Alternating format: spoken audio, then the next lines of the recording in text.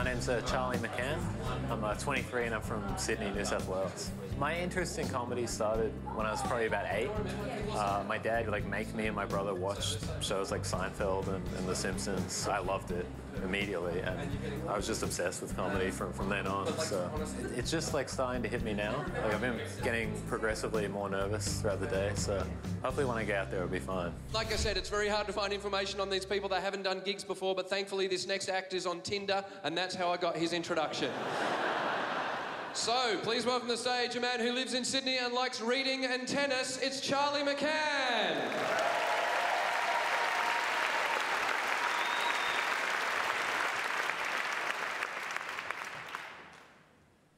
Thank you. Thanks a lot. Thanks. I went to uh, I went to Coles the other day.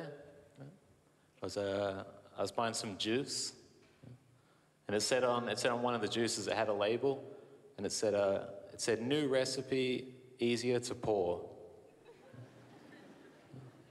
And I just thought, finally.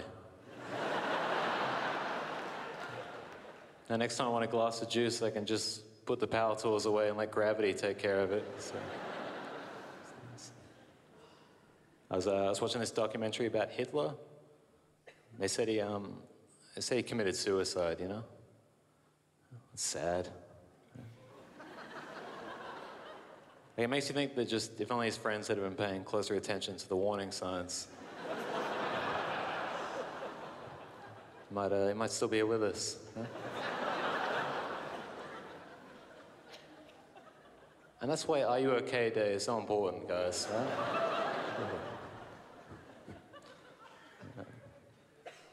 I was having an argument with this guy uh, about the law, and he's like, uh, he's like, well, my dad's a lawyer, so I'd know.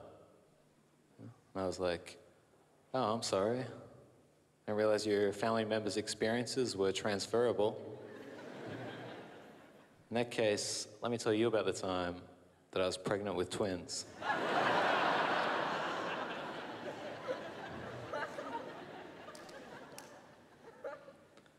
Uh, I'm, I'm an Aries. Yeah. That's enough. That usually gets an applause break, but uh, it's, it's fine. I was reading my horoscope, uh, and it's like uh, it was like Aries is this like laziness, bossiness, and tyranny. You know, it's, it's pretty heavy for a horoscope. You guys are just gonna bring up tyranny, you know? It's like Scorpio's like cats, cycling, and genocide. I don't know, like maybe there's some truth to it. Like my best friend is a is a Pisces, and I, I love that guy. But he just doesn't hate tyranny as much as I do.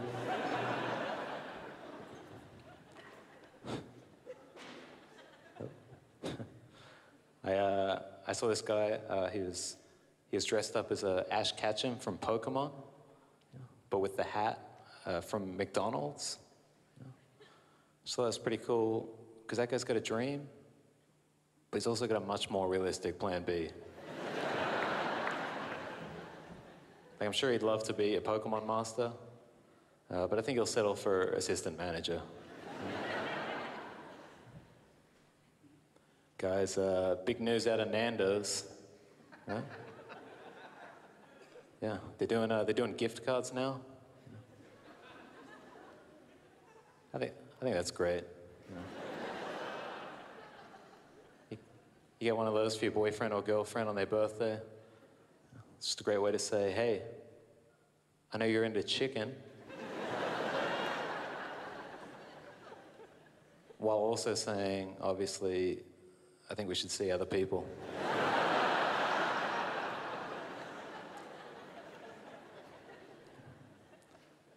I was, uh, I was reading about this guy. He, um, he abducted a woman and he kept her as his sex slave for like 18 years. Yeah. Just thought the most amazing part about that is just the fact that anybody would want to have sex with the same person for 18 years.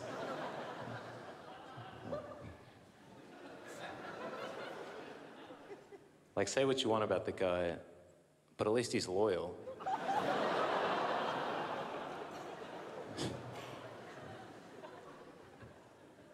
You guys, uh, you guys like that song Hot Cross Buns? You know, it's like hot cross buns, one a penny, two a penny. I think, uh, I think that's gonna be a problem. You can get one hot cross bun for a penny, but you can also get two hot cross buns for a penny.